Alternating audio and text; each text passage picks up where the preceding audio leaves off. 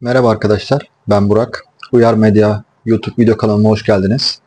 Bugün size Rusya'ya en kolay bir şekilde nasıl gelinir, nasıl vize alınır, pasaport işlemlerini nasıl halledebiliyoruz bir video yapmak istedim. Şu an zaten otel odasından size video çekiyorum. Evet arkadaşlar, Rusya'ya gelmek basit. Nasıl basit? Linkini aşağıda bırakacak olduğum sitede yaklaşık 10 dakika içerisinde vizenizi alıyorsunuz. Yaklaşık 1700-1800 lira civarında Türk lirasına vurduğumuz zaman bir ücreti var. Yani 55-60 dolar civarında bir şey yapıyor. Vizeye başvurduktan sonra yaklaşık 4 gün içerisinde sonuçlanıyor. Sabıkanız falan vesaire hiçbir şeyiniz yok ise 4 gün hadi olsun 5 gün içerisinde onaylanırsınız. Ondan sonra biletinizi alıp rahat bir şekilde Rusya'ya giriş yaparsınız. Girişte ne yaşadım? Girişte açıkçası çok yoğun bir zamana denk geldim ben. Vnukovo havaalanı çok büyük. Şimdi bu YouTube kanalımda size genel itibariyle hani bilgilendirici videolar çekmek için uğraşacağım ki yapacağım da bunu. Hani sadece içerik üretmek için e, üretmeyeceğim yani video çekmeyeceğim. Mesela şu an Rusya'dayım. Rusya'ya nasıl gelinir? Nasıl vize alınır? Nasıl pasaport alınır? Yani buraya geldim ne yaşadım? E, şu an geleli sadece bir gün oldu.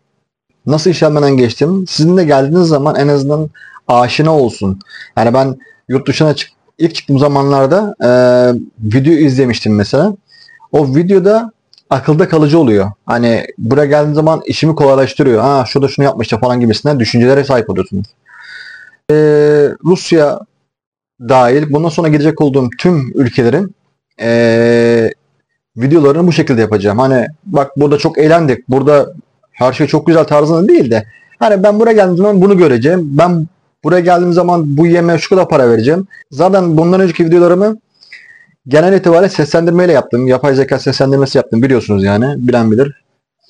Ee, bundan sonra videolarım bu tarzı olacak. Bir herhangi bir mekana gittiğim zaman da da yani size oranın fiyatını bu tarz videoları yapacağım inşallah. Ee, şimdi havaalanına ilk indiğimde bayağı bir yoğundu yani. Normalde bu şekilde olmaz. Hani izlediğim videolardan biliyorum sadece. Ama bir biliyor 5-6 kişi falan vardı yani abartısız. Ve pasaport işlemleri çok uzun sürdü. Yani haddinden fazla uzun sürdü. Tam 2 saat falan sürmüştür. 2 saat sonunda e, pasaport memuru şöyle bir 4-5 defa baktı zaten bir kere. Abi vur artık niye yani defalarca bak Allah bak bak Allah bak hani bir yere varamayacaksın. Ya, sen Rusya Federasyonu e, elektronik yüzeyi bana Vermiş zaten. Bas babacım yani. Bas geçelim. Uğraştırma biz o kadar ya. Binlerce insan küfür ederek bekledi yani. Bir de güzel bir şey bir şey oldu. Ee, taksi yani bana ayarlanan taksi burada benim bazı bayan arkadaşlarım var. Onların sayesinde işlerim daha kolay bitti açıkçası. Rusya'dayken, Moskova'dayken ayarladılar. Bana denk gelen taksici Azerbaycanlı. Öyle yani dışarıda Azerbaycan Türk'ü, Türkiye Türk'ü yani böyle bizden biri olduğu zaman daha uçaktan indim bir Özbek'le karşılaştım. Telefon internetini benim için açtı. Ee, internetimi kullandım. Kız arkadaşımı aradım. Bak böyle böyle taksi nerede? Ee, beni bekliyor burada tarzında konuşmamız oldu. Ondan sonra e, onunla şey yaptık. Benim taksici geldi. Zaten sarmaştık yani böyle yani şey gibi. Sen kardeşinle e, sarmaşıyormuşum gibi yani. Ya benden yaşça büyük ama o, o şeyi alıyorsun, sıcaklığı alıyorsun. Yani yardım etmek istiyor. Yani uğurlarken de böyle taksi bıraktıktan sonra diyor ki bana.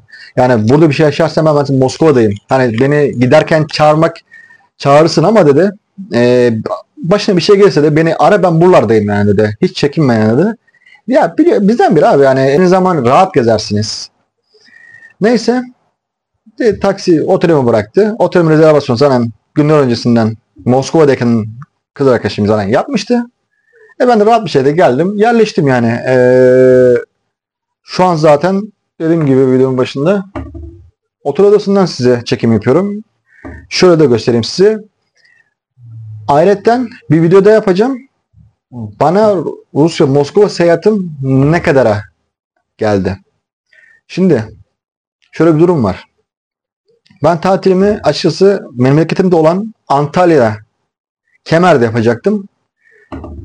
Yani e, fiyat araştırmıştım. 10 gün 2017'de tatil yaptım. Hani risk atmayayım dedim. O kadar para veriyoruz dedim. Yine oraya memnun kalmıştım. Yine oradan tatil yapayım dedim. Ama gel gelelim 45 bin liraydı fiyatı. İki hafta sonra baktım fiyat 75 bin lira. Bu sadece 10 gün için.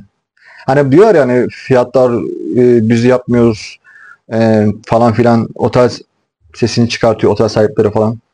Abi yani tamam ben de farkındayım. Ülke ekonomik anlamda pek iyi yerde değil ama bazı şeylerin bir oluru var be.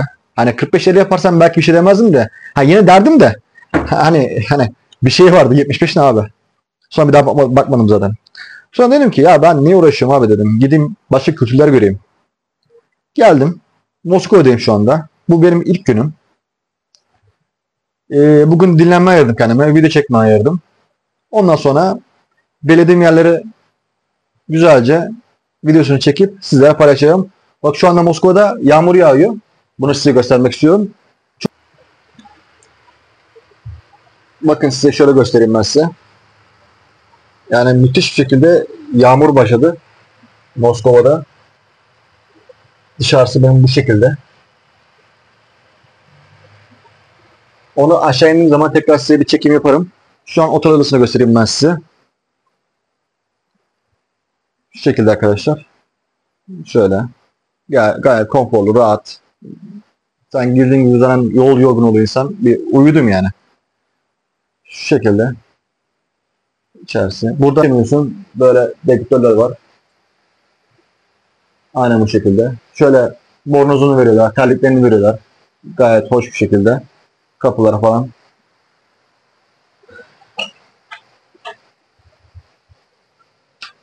Şu şekilde göstereyim size. Banyo falan. Ha, gayet temiz, hoş. Memnunum yani. Evet arkadaşlar. Otel odasını size gösterdikten sonra eee, yani bu bir günlük olduğu için uzatmadan bu videoyu çekmek istedim. Çünkü hani aklımda bir şey kaçsın istemedim sadece.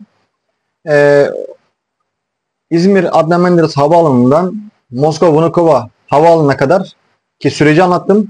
Ayrıca otele geldim. Otelin o otel sürecini anlattım. Daha öncesinde eee araştırmasını yaptığım için şuraları gezerim, şunu yaparım, bunu yaparım.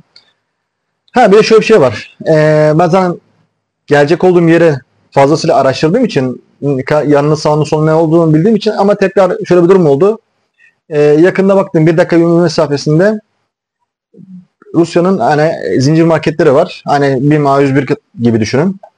Girdim girdim içeri. Bir gezindim baktım bir keşif yaptım yani. Ee, yakın zaman bir market videosu da yapacağım. Ee, fiyatlarına siz de bakın. Ee, su pahalı olduğunu gördüm sadece. Hani alkolden hakikaten dedikleri kadar varmış yani. Alkol daha ucuz yani. Ondan sonra videosunu size çekerim. Oteller hakikaten ucuz yani. Ben 10 günlük sadece 10 bin liraya. Bu da kahvaltılı yani. Kahvaltı da aldım. Neden e, daha fazla şey yapmadım?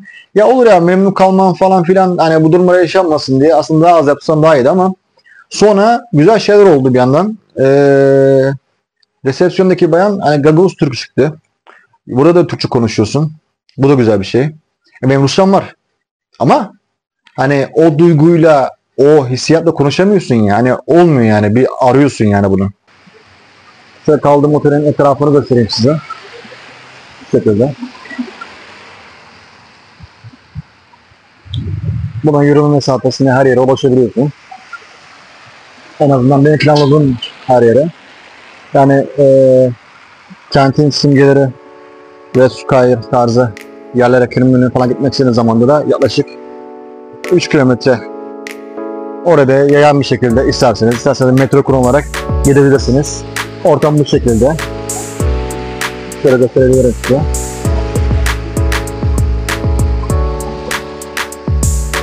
Burada yoğun bir şekilde scooter kullanılıyor arkadaşlar.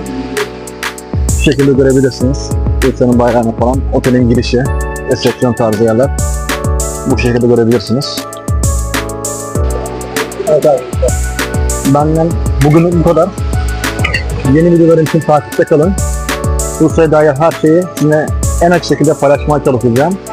Kendinize bakın. Hoşçakalın.